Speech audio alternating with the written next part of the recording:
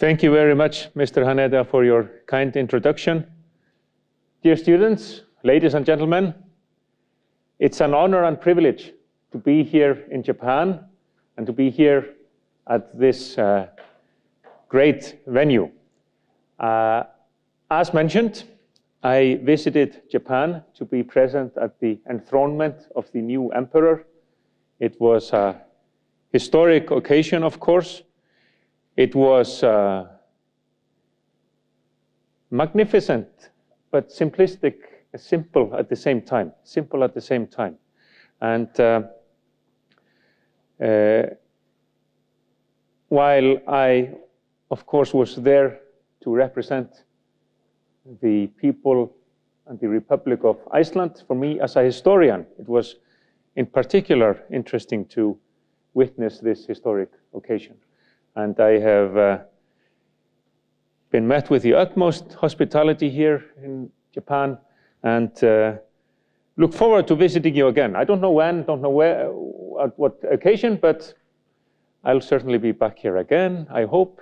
And you are all welcome to visit Iceland. And part of my, uh, my uh, uh, visit to this uh, university involved uh, seeking ways to enhance uh, relations between uh, Icelandic universities and universities in Japan, including this one. So I hope maybe I get to see you, some of you, at the University of Iceland or other institutes of higher education uh, back home.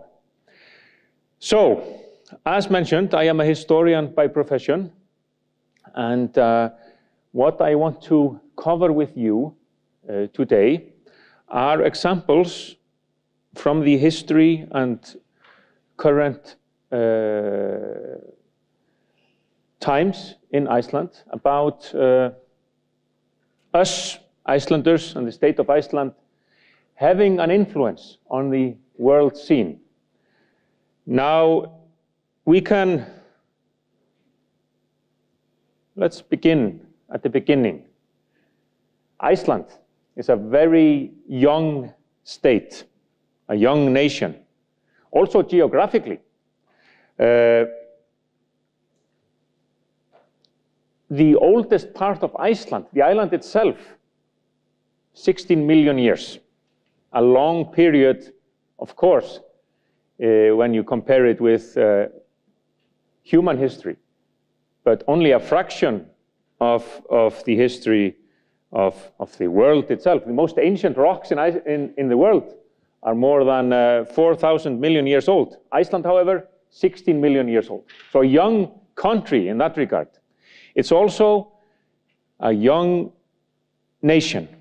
Iceland was only uh, discovered by humans or settled by humans some 11, 1200 years ago maybe at some stage before that, some, some uh, adventurers strayed to the country, but settlement really began, let's say, in the possibly in the eighth and ninth centuries uh, uh, in earnest. Settled by mostly by uh, Norse people and Celtic people from the British Isles, and you could argue, or it's safe to conclude, that uh, uh, after a few decades or centuries, about maybe 50,000 people live in Iceland. Now, this is, this is not uh, uh, an exact figure. We don't know it for sure. But it's a small nation and a small island. And how is it possible for uh, a nation of that kind to influence global events? Let's look at that uh, as we move on to the present. Now, this young uh, society. Uh, was um, constructed gradually. And uh, of course, many important events happened. We can look at the year 930, uh, foundation of parliament in Iceland, where the chieftains of the country gathered together and decided we have to have a set of laws for this society of ours.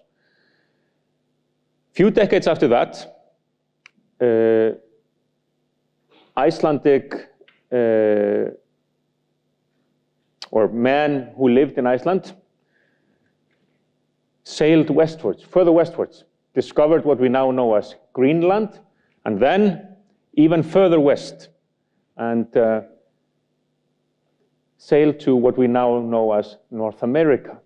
There was no uh, lasting settlement, and there were conflicts with the, uh, with the people who were there before them the indigenous population.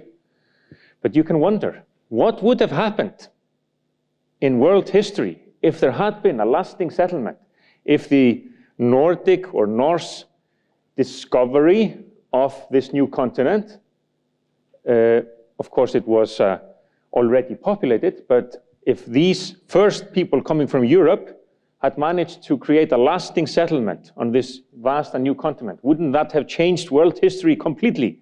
We do not know, of course, but what we do know is that they set foot there, and then uh, there was hardly any uh, connection afterwards. But this is almost like a missed opportunity for this small nation, Iceland, to influence world, world affairs to a great degree. The people of Iceland uh, lived from the land from what the land gave them. It was a harsh life and uh, tough life.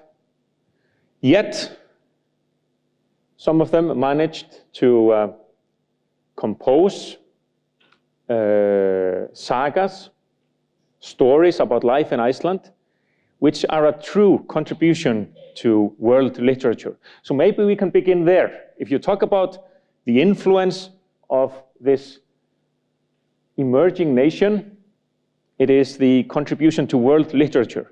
So you have writers there of marvelous tales, stories about, including the discovery of these new lands further westwards, the sail, sailing to Greenland, or what we now know as Greenland, and then to North America, stories about these adventures, and stories about family feuds, struggles between clans, struggles about love and honor, magnificent tales, tales which have survived and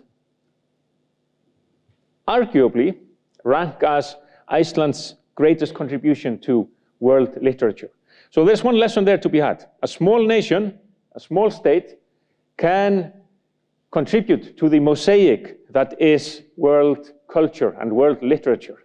And we need to keep that in mind because uh, when you look at the globe as a whole now, uh, we are living in a world of globalization, of uh, uh, ever increasing connections between nations and states, and that is great. But we must avoid uh, uh, negative uniformity where everyone is in the same mold. So Icelandic literature, Japanese literature, Icelandic culture, Japanese culture, to take examples, should be part of the mosaic that is world culture. And then we can connect. The Icelandic sagas, for instance, have been connected with Japanese manga. You have scholars and others who, uh, who merge these two trends and discover and create something new. So I will suggest to you that when it comes to the might of the weak or influence of Iceland on the world scale, let's begin with Icelandic literature and the Icelandic sagas. This is our contribution to world literature. Now, in the 13th century or so, when many of these sagas were written, uh, civil strife in Iceland led to uh, Iceland becoming part of the Kingdom of Norway. Uh, these centuries before had been a time of the so-called Icelandic Commonwealth, when, uh, when um, Icelanders, as it were, ruled themselves without a king, without, uh, without uh, ties to, to the Kingdom of Norway. But in the late 13th century, Iceland became part of the Kingdom of Norway. And then the Kingdom of Norway merged with the Kingdom of Denmark, and Iceland came under Danish rule. And you know, I am giving you a very short and abridged version of uh, a complex past. But uh, the traditional version of Icelandic history went like this. Glorious centuries of the Commonwealth and independence from settlement to the 13th century. And then from the 13th century onwards, uh, demise and uh, tragedy under foreign rule, first under Norwegian rule and then Danish rule. You had epidemics, volcanic eruption. So by the 18th century or so, the population of Iceland was down to 30,000 or so. One disaster uh, followed another. And a big one, and again, talk about the influence of Iceland on world affairs. Let's move to the year 1783. There was a huge volcanic eruption in Iceland. The uh, Laki eruption, the so-called Laki eruption from 1783 to 84, had a huge impact in Iceland.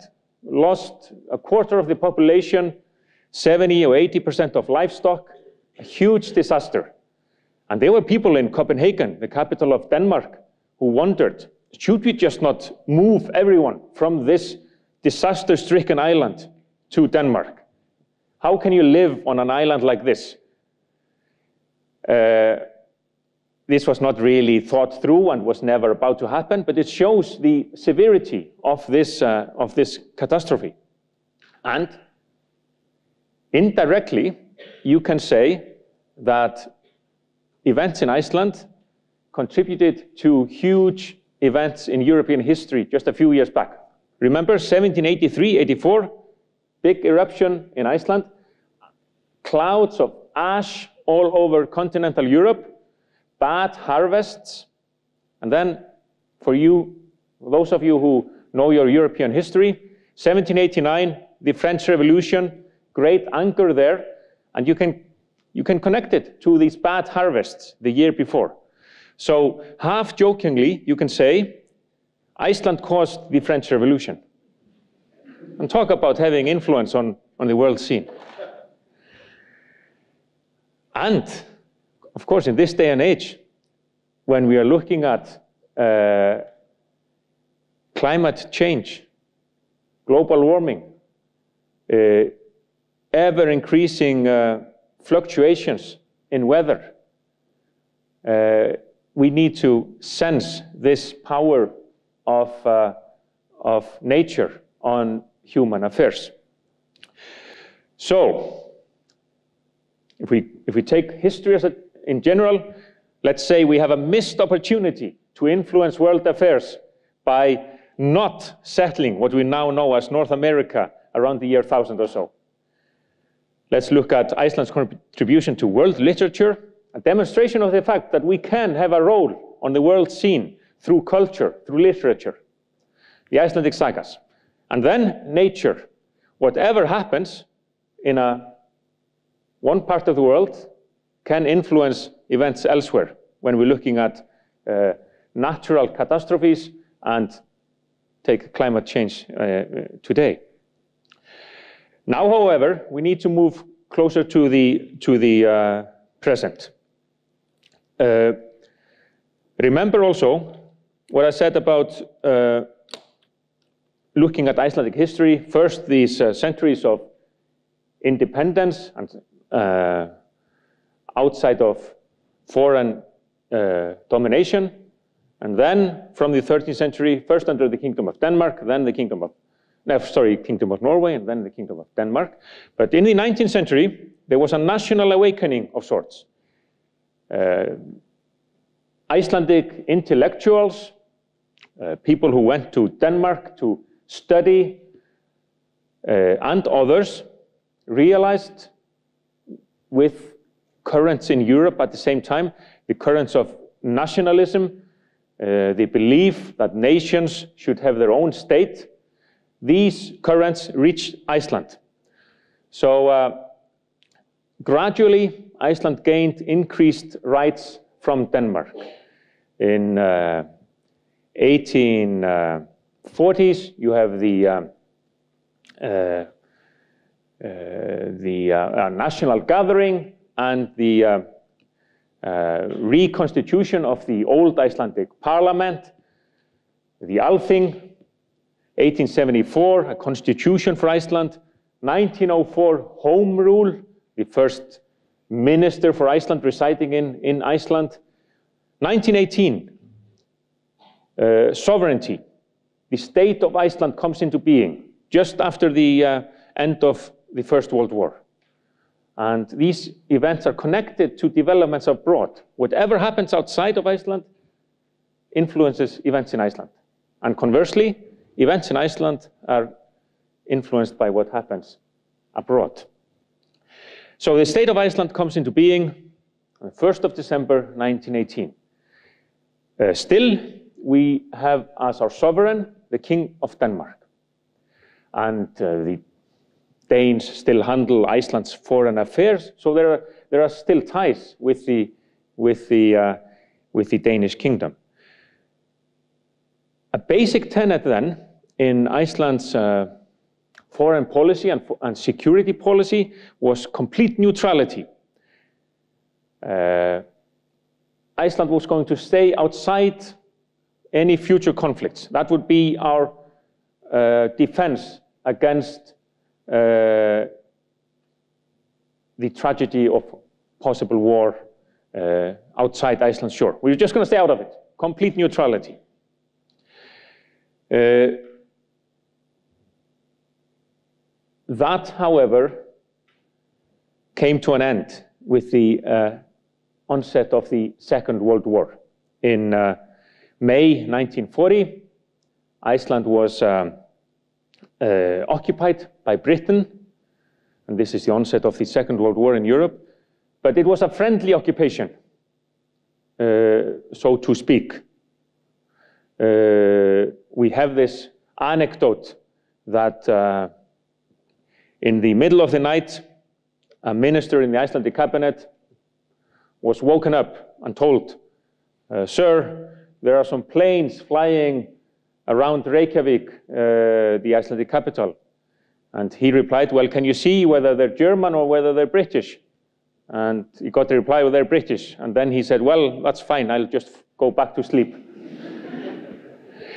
so uh, following that, in 1941, Iceland made a defense agreement with the United States, maintaining neutrality uh, de jure, but to all intents and purposes, Iceland was on the Allied side uh, in the war. And in June 1944, Iceland severed all ties with Denmark, became a republic. And uh, the first president of Iceland uh, took office on the 17th of June 1944. Foundation of the republic, and then the war comes to an end, and this young state one of the smallest states in the United Nations, had to, uh, had to uh, find its way in the world. How can we safeguard Iceland's interests as a small state on the world scene? And can we possibly, at the same time, have a say in the world, uh, shape the world as we want it to be? Is that possible for a small state on the international scene. Let's cover a bit power in international relations and the capabilities of small states to act on the world scene. If you take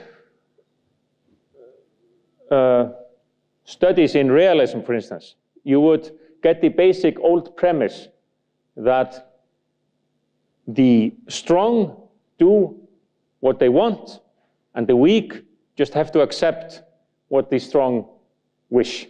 This is like Thucydides from the, you know, the Greek uh, historian and philosopher.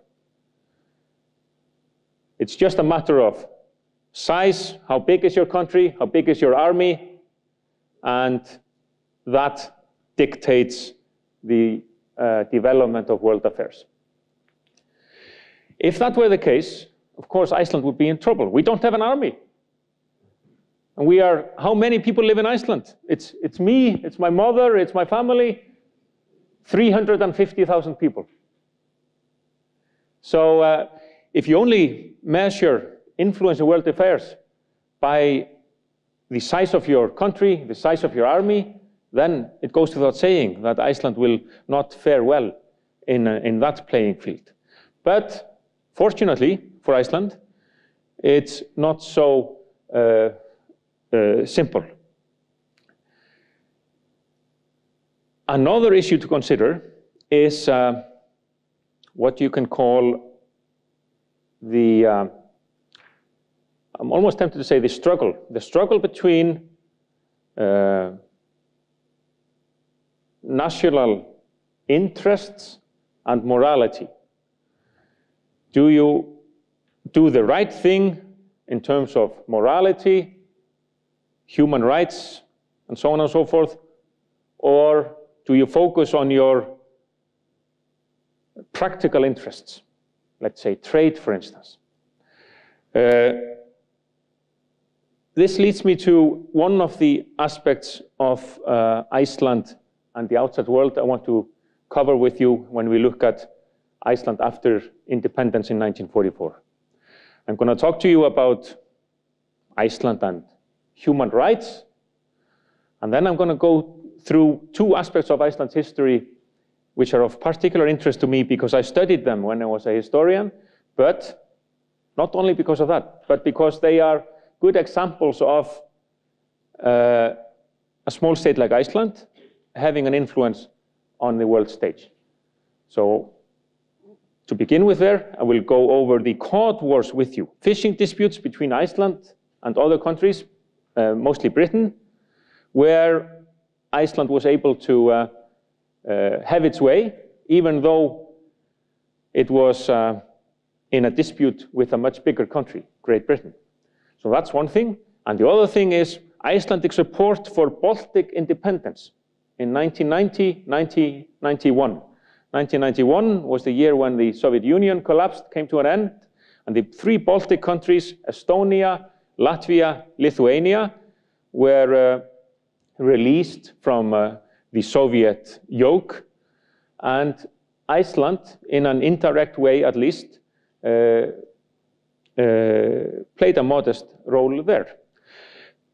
But first, human rights and what we can call real or real interests. Iceland, having become a sovereign state in 1918, independent in 1944, member of the UN uh, shortly after the foundation of the United Nations, uh, wanted to support other peoples, other nations uh, struggling for independence.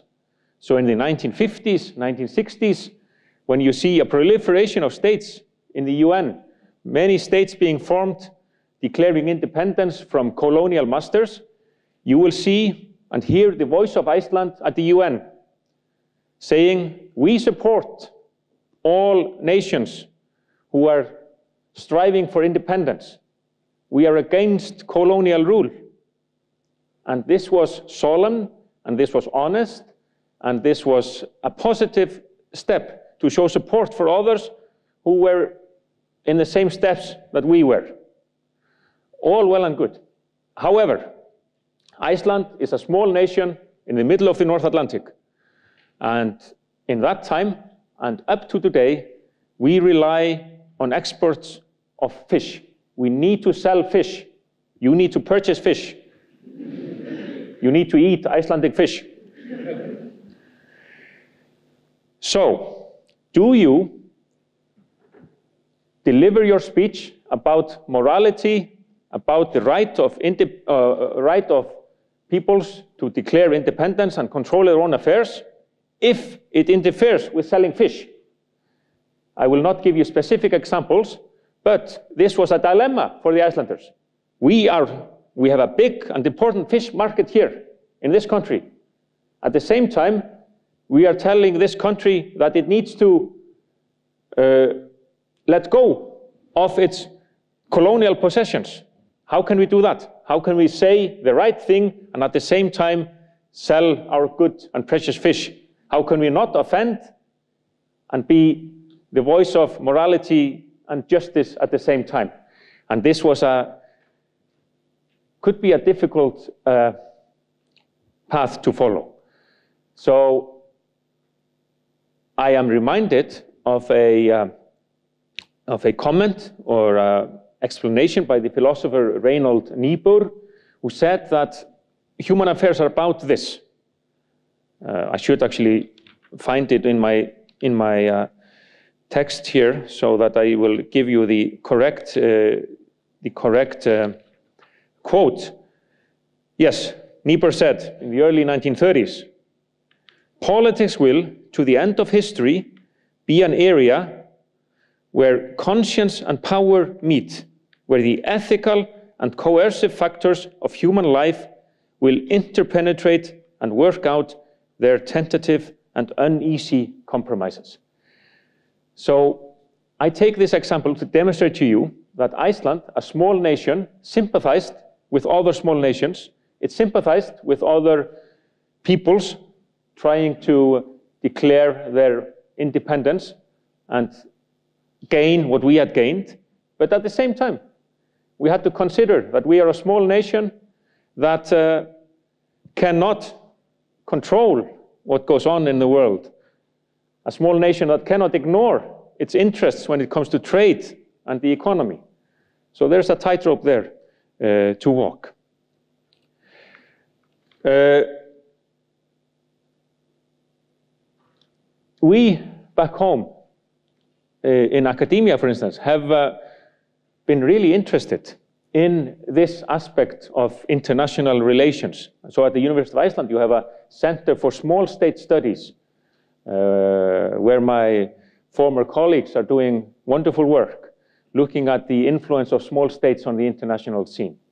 Also, peace studies, uh, where uh, we like to contribute keeping in mind the fact that we do not have a military and we do not have to make difficult decisions on sending people uh, to, uh, to uh, battle, but we like to think that we can contribute and use our experience in, in this regard.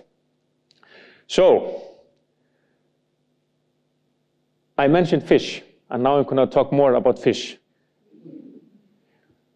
Let's go and look at the cod wars, the fishing disputes between Britain, mostly Britain, I will just focus on Britain here, mostly between Britain and Iceland in the latter half of the 20th century. An integral part of Iceland's struggle for independence was to gain sovereignty of our natural resources, i.e., the marine resources outside or outside Iceland in the waters of Iceland. Uh, we can begin at the start of the 20th century when Iceland and Britain had an agreement on three mile limits of territorial waters around Iceland. So if you have Iceland here, three miles uh, outside Iceland was the territorial waters of Iceland. It's pitiful. The British trawlers, these fishing vessels, uh, would fish right up to Iceland's shores. And uh, for the Icelanders, uh, a vital step towards full independence would be to gain control of the fishing grounds around Iceland. We were not alone in this. Development of the law of the sea was moving in Iceland's favor. But after independence in 1944, we took gradual steps in, in gaining full sovereignty of our fishing grounds. So, in 1952, Iceland declared a four mile limit around the island. Britain protested. The British message was three miles is the international rule, and we are perfectly happy with that, and we do not accept this extension of Iceland's fishing limits. At the time, the British market for Icelandic fish was of vital importance.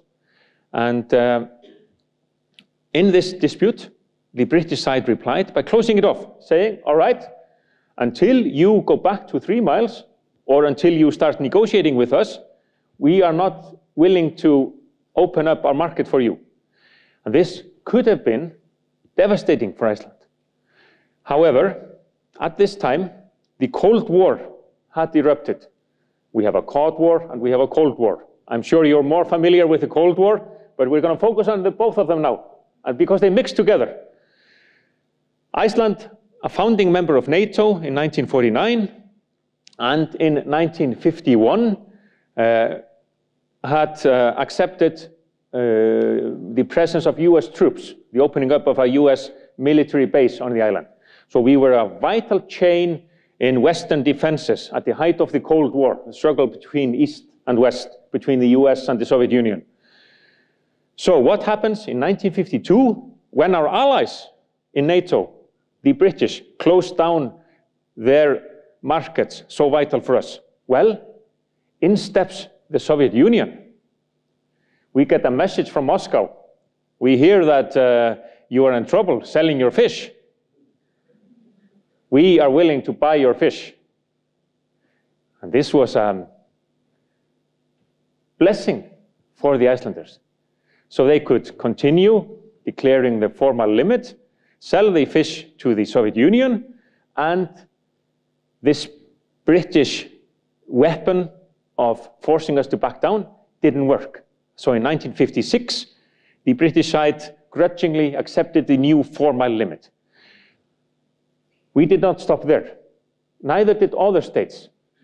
The Soviet Union, for instance, declared a 12 mile limit, and Britain could do very little about that. You're not going to threaten the Soviet Union like you could with, with Iceland. And international law was flowing in Iceland's favor. So in 1958 and 1960, you have the law of the sea conferences where you can clearly see that the world is changing in this regard. And in 1958, on the 1st of September, Iceland declares a 12 mile limit from 4 to 12. Now that's enough, the British side says.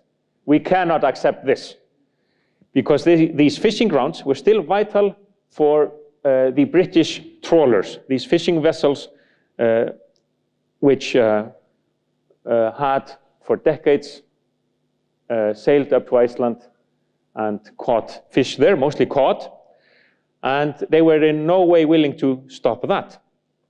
Now, previously, shutting off the British market, that hadn't worked.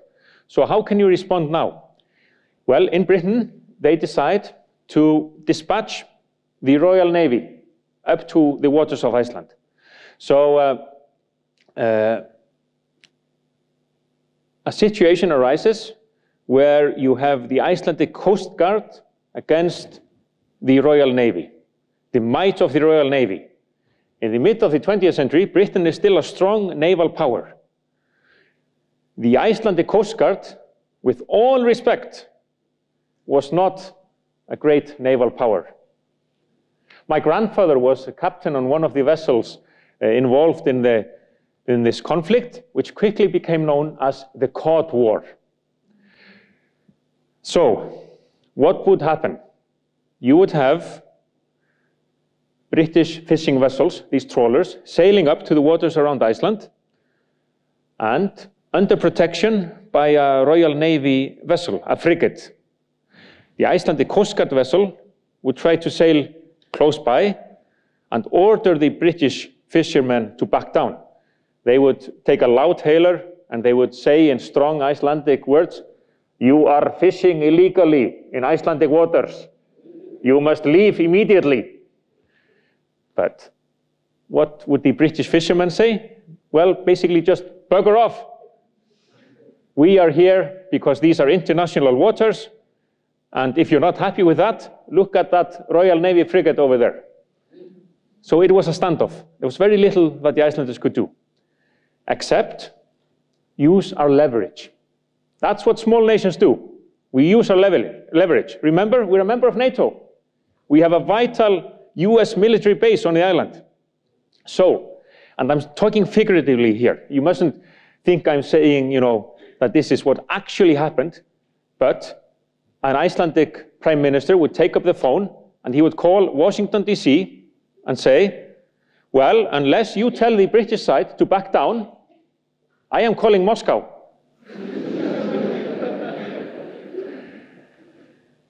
Again, I am exaggerating.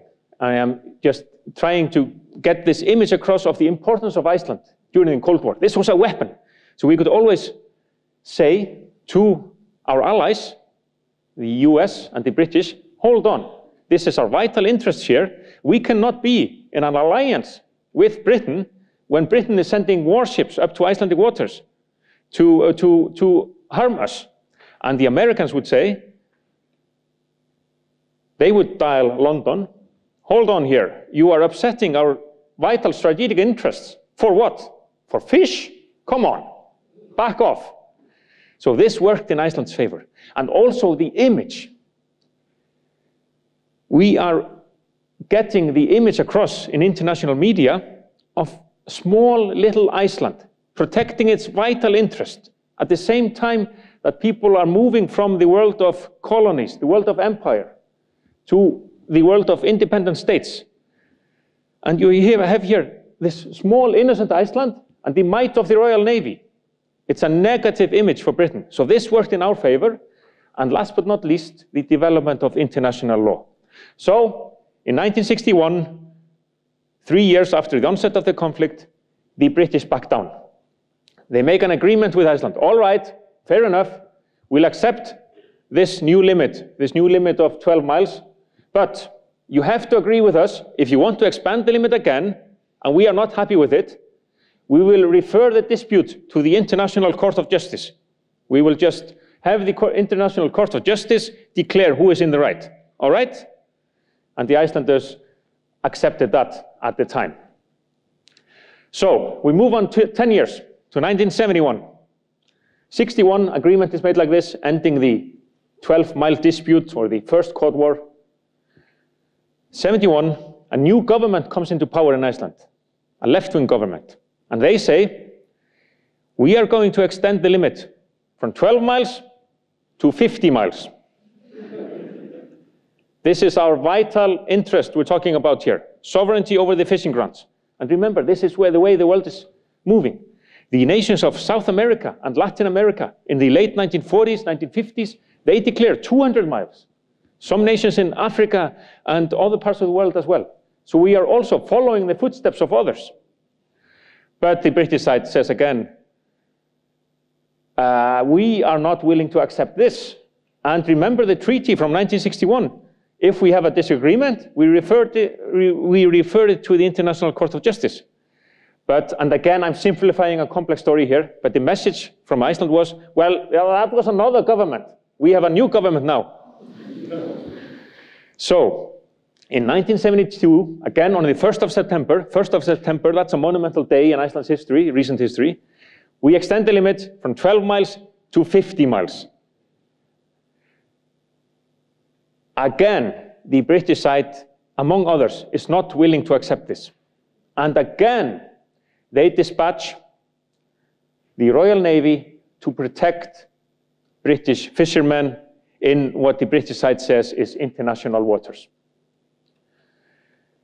And remember what had happened last time around in the 12 mile dispute in the first Cod War. You are fishing illegally. It didn't work. However, talk about Iceland's contribution to uh, world affairs. We invented a weapon. Believe it or not, Iceland without a military, we invented a weapon. Now, uh, let's see. This is a British trawler, right? A trawler is a fishing vessel.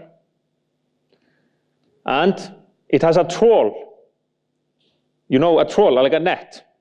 So this is the trawler, and this is the net. You put it down like this, and then you pull it up, And in the process, it catches fish. It catches Icelandic fish. we are not happy with that. So, the weapon that the Icelanders invented is known as the cutters. So, you have the trawler, and you have the trawl full of Icelandic fish, like this. But this would be the cutters with a Coast Guard vessel. So we would sail and cut the wires between. So you would have the Icelandic fish in Icelandic water still, and furious British fishermen. This totally changed the scene uh, on the in the disputed fishing grounds. Now we could actually disrupt the fishing. The British side was furious. You are not allowed to do this. You, you're breaking international law. But we said, you are breaking international law. You are breaking Icelandic law. And this is just a test of strength. So, as the Icelandic Coast Guard vessels were doing this, sailing like this, cutting away the, the trawls, the fishing nets, the Royal Navy vessels, the frigates and other types of vessels, would try to intervene, would try to prevent the Icelandic Coast Guard from getting close. This was serious matter. This uh, led to collisions, which could have led to the loss of life. And actually, one Icelandic shipmate died after a collision when he was repairing. And on other occasions, it's basically a miracle that no vessels went down with loss of life. It was a very dangerous game. Collisions at sea are always dangerous. And the Icelandic message was again, hold on, if you don't stop doing this, we'll, we will leave NATO, we'll shut down the US base. Again, this strategic importance is so vital. But you may also ask, you have a Royal Navy frigate. A frigate is a big war vessel. You have guns, you have mortar. And you could just say, okay, you Icelanders, if you do not stop harassing British fishermen in international waters, we will fire at you. So back off or else. We will use the might of the Royal Navy. But again, can you imagine? Both on the international scene, let's say a headline in the New York Times or Der Spiegel in Germany or Japan Times or what have you. British Navy vessel sinks Icelandic gunboat. Can you imagine? No, this was, this just could not happen. A fellow member of NATO, you do not fire at a fellow member in NATO. So again, the importance, the strategic importance of Iceland helped us immeasurably, as well as the development of the law of the sea, as well as this image of the big bully fighting small little Iceland. Agreement was reached in 1973 the British side grudgingly accepted this new 50 mile limit, and in London there was clear realization that uh, gradually uh, you would have to accept this extension of fishing limits and territorial waters uh, worldwide. However, we still had one more conflict in the mid 1970s when Iceland went all the way 200 miles. Basically, the same thing happened uh, conflicts at sea, cutting of trawl wires, and clashes between Royal Navy vessels and, and the Coast Guard. But in mid-76, the British side realized that the game was up, and ever since, uh, we have enjoyed the 200-mile uh, exclusive economic zone. But this is a lively subject still. Here in Japan, you only have to look at waters in the vicinity and uh, disagreements between nations to realize that wherever there's an ocean and wherever there is fish, there will be disagreements. And not to mention also uh, the ocean floor, where there is uh, uh wealth to be found, as it were. So this was the Cod War, and it demonstrates that a small state can punch above the weight, as it were, can protect its vital interests uh, and that might is not the only measurement. if, if it was only a matter of who had the biggest warships, then the British side would have beaten us in a day. But fortunately, for a small state like Iceland, the international world doesn't operate like that. You have the rule of law, you have also alliances, which helped us immeasurably, and you have public opinion. All these factors came to Iceland's aid. So the Cod Wars are an example of a small state being able to protect its vital interests because of these factors. And the, these, these conflicts are, uh, are so enshrined in Iceland's uh, collective uh, memory that uh, uh, uh, if ever you come to Iceland and ask Icelanders about the Cod Wars, they will tell you, well, that's when we beat the British. Happy, very happy about that. Now, uh, the other aspect I wanted to talk to you about, describing Iceland's influence on the world scene, was the Baltic states. So, I don't know how well you remember these dates I have given you, but if, 1918, sovereignty. Iceland becomes a separate state, still under the, uh, with, a, with a Danish king as sovereign, but to all intents and purposes, a separate sovereign state. 1918. the same time, the Baltic states declare independence. Estonia, Latvia, Lithuania. Uh, the Estonian president and the Latvian president, and I believe the Lithuanian president, were also here at the enthronement uh, stage, which regained their independence in 1991. But if you want to see contrast between small states, look at Iceland on the one hand and the Baltic states on the other. So they also declare independence, yes, in 1918, but in the Second World War, our paths divide. We declare full independence and enjoy economic prosperity and freedom in the decades after that. They are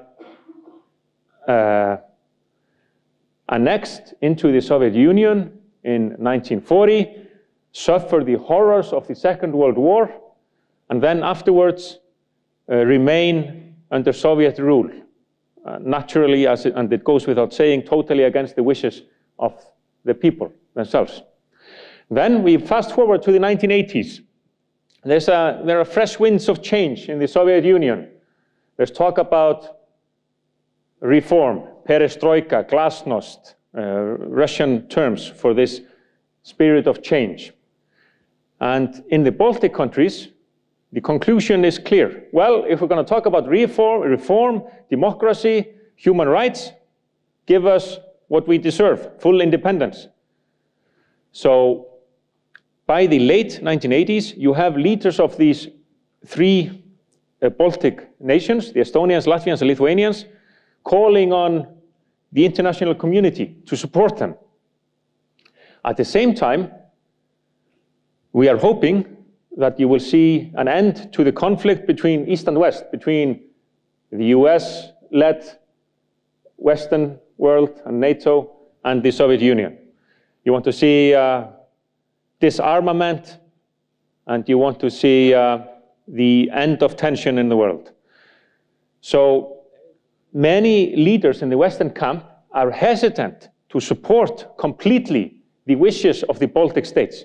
They say to themselves and others, we have to do this in a controlled manner.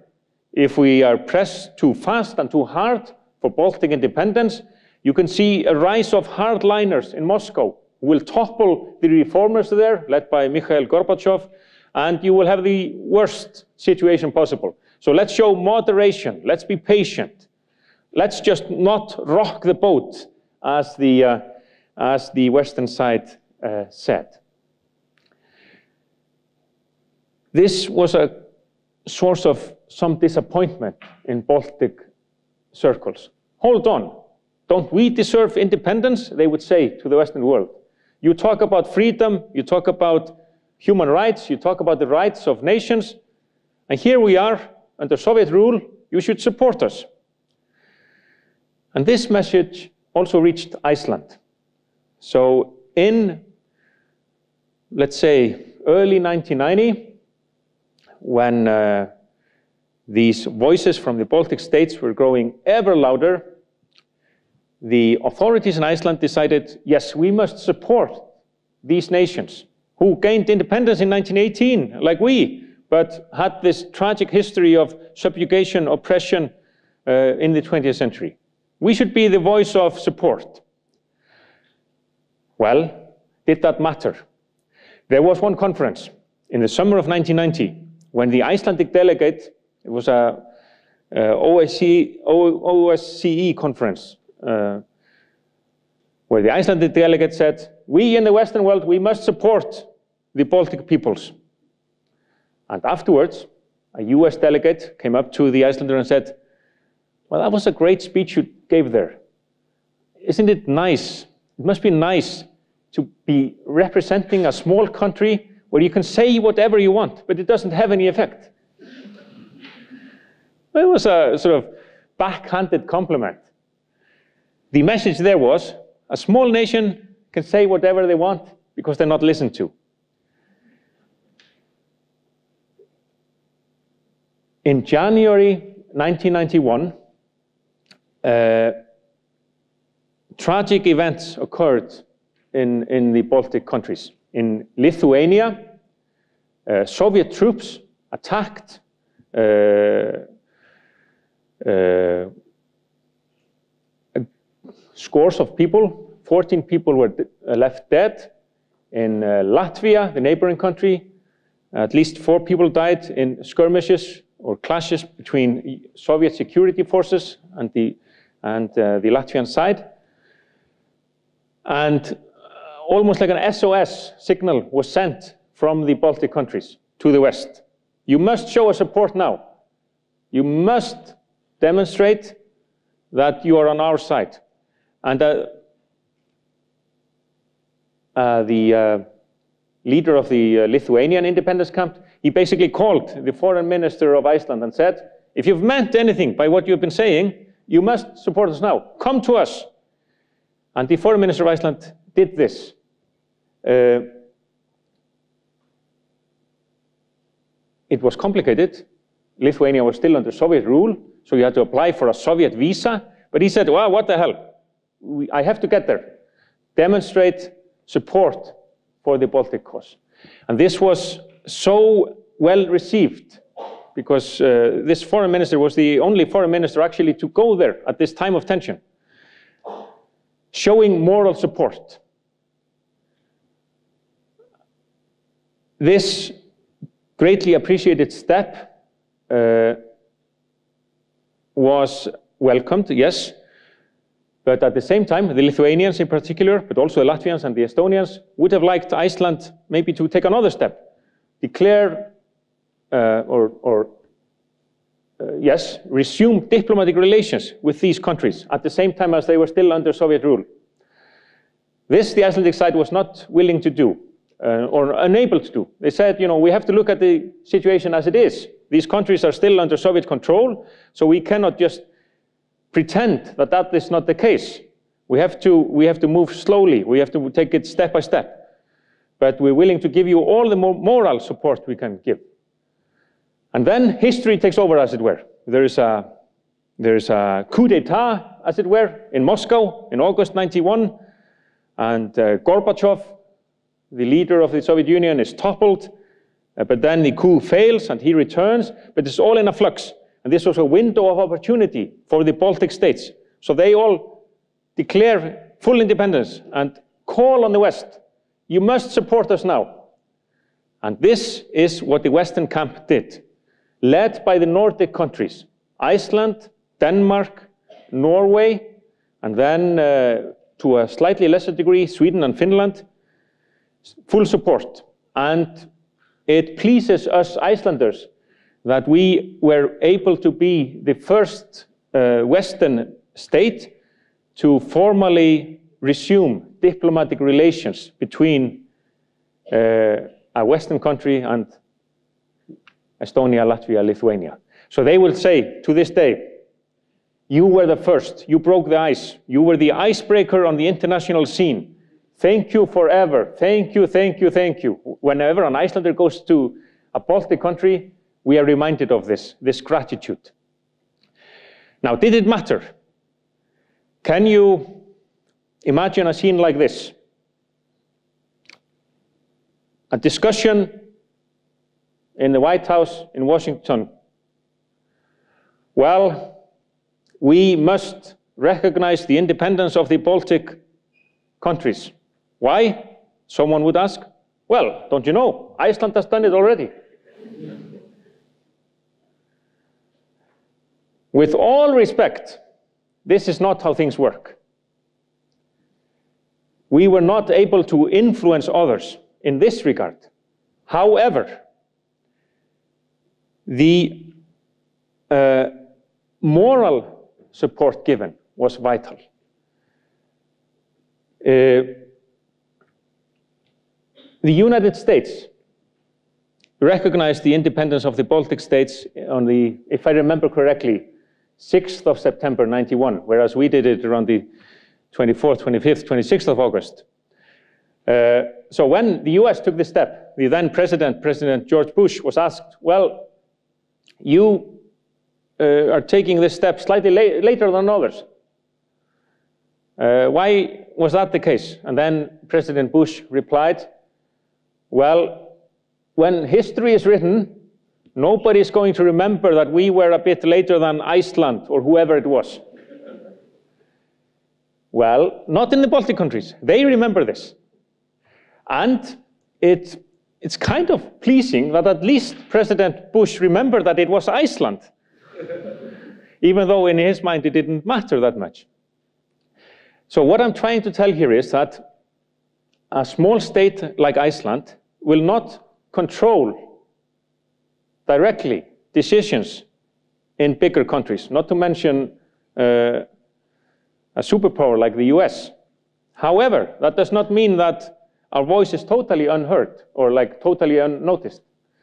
Uh, and the moral support you can give is of importance. And remember what I also said about human rights and fish and how Iceland sometimes would not, you know, emphasize human rights where fish markets were at stake. Well, in this case, the Soviet Union was still an important market for uh, Icelandic products.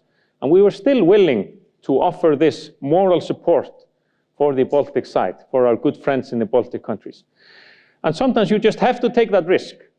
If you always put your economic interests first and push aside morality and the right thing to do, then ultimately you will run into trouble. You will be accused of uh, duplicity. And uh, that is not what you want to do on the international scene. So again, here is an example of Iceland being able to play a role on the international scene. Punch above your weight, as it were. So, these are stories I wanted to tell you about a small state on the international scene. The history with, uh, with our literature, sagas, contributing to the French Revolution via a natural disaster. That's, that's a fair accomplishment. Human rights versus economic interests, how that interplay is complex when you're a small nation. The Cod Wars, how a small nation can have its way against a bigger side when vital interests are at stake and when you're in an alliance and when you have international law flowing in your favor and when, uh, when you have international opinion on your side. The Baltic case, where you demonstrate moral support and in an indirect way are able to influence uh, the uh, development uh, outside your shores. So let's go back as we conclude, to uh, culture, to literature. Uh, we in Iceland are so proud of the fact that we are still able to point to individuals who are making it big on the international scene. Some of you may have heard of the singer Björk, the Icelandic pop singer Björk. Just recently, uh, we have uh, musician, classical pianist, Víkingur Heiðar, nominated the Gramophone Artist of the Year, which is big in classical music, believe me. Hildur Guðnadóttir wrote the music for uh, the popular TV series Chernobyl. You may not have heard of these names, but these are individuals who come from a small country like Iceland, are blessed by uh, nature and upbringing and training and devotion to become one of the best in their fields and demonstrating that even though you come from a small country, you can uh, be heard on the international scene. So that is another example of when we are thinking about a small state like Iceland and how we can contribute, let's also look at literature and culture. That is our playing field, our level playing field, where expertise and devotion and compassion matters greatly. Let us also look at, finally, uh, human rights still. Yes, we have to look at realpolitik, and we will never be able to uh, uh, control world affairs, but we can still be the voice of reason, the voice of uh, uh, defending those who need defending.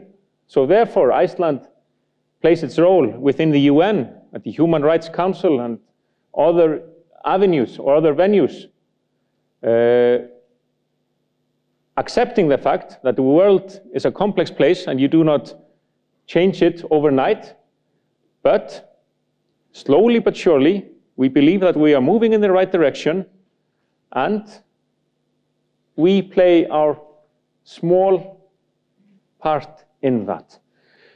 Can we be an example to others?